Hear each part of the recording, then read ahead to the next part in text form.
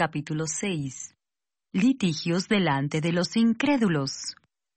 ¿Osa alguno de vosotros, cuando tiene algo contra otro, ir a juicio delante de los injustos y no delante de los santos? ¿O no sabéis que los santos han de juzgar al mundo? Y si el mundo ha de ser juzgado por vosotros, ¿sois indignos de juzgar cosas muy pequeñas? ¿O no sabéis que hemos de juzgar a los ángeles? ¿Cuánto más las cosas de esta vida? Si pues tenéis juicios sobre cosas de esta vida, ¿ponéis para juzgar a los que son de menor estima en la iglesia? Para avergonzaros lo digo, pues que no hay entre vosotros sabio ni aun uno que pueda juzgar entre sus hermanos, sino que el hermano con el hermano pleitea en juicio, y esto ante los incrédulos? Así que, por cierto, es ya una falta en vosotros que tengáis pleitos entre vosotros mismos. ¿Por qué no sufrís más bien el agravio? ¿Por qué no sufrís más bien el ser defraudados? Pero vosotros cometéis el agravio y defraudáis, y esto a los hermanos. ¿No sabéis que los injustos no heredarán el reino de Dios? No erréis, ni los fornicarios, ni los idólatras, ni los adúlteros, ni los afeminados, ni los que se echan con varones, ni los ladrones, ni los avaros, ni los borrachos, ni los maldicientes, ni los estafadores heredarán el reino de Dios.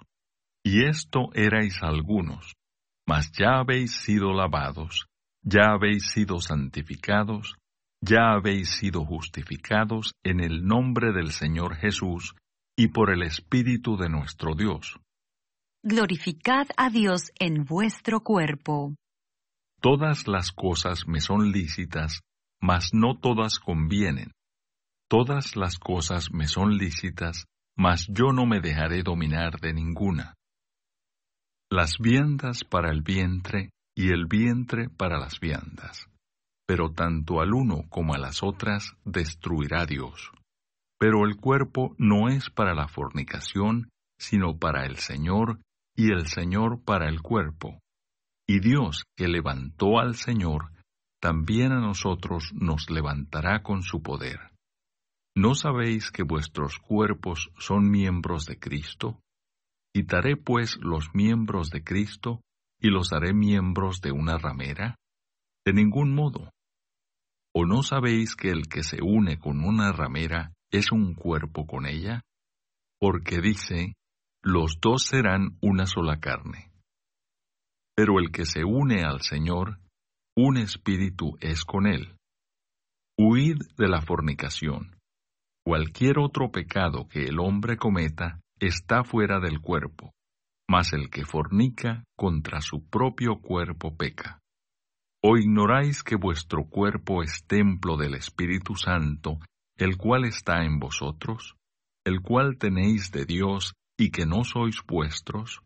Porque habéis sido comprados por precio. Glorificad pues a Dios en vuestro cuerpo y en vuestro espíritu, los cuales son de Dios. Gracias por escuchar y si te gustó esto, suscríbete y considera darle me gusta a mi página de Facebook y únete a mi grupo Jesús Answers Prayer.